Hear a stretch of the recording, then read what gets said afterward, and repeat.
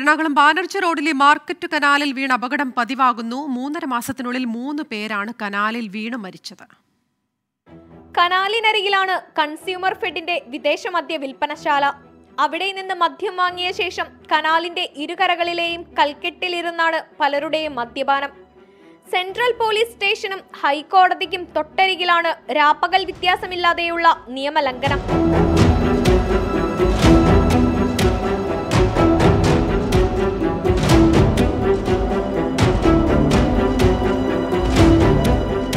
മദ്യപിക്കുന്നവരിൽ ചിലർ കനാലിനോട് ചേർന്ന് തന്നെ കിടന്നുറങ്ങും.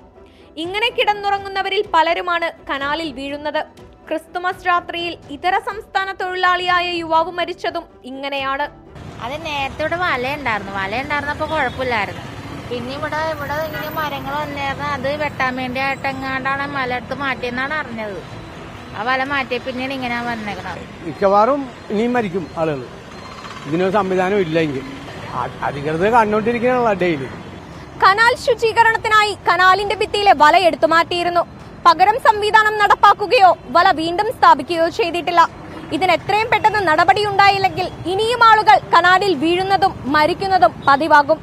ക്യാമറമാൻ രാഹുൽ മുരളിയോടൊപ്പം ശീതൽ പോൾ ട്വന്റി കൊച്ചി.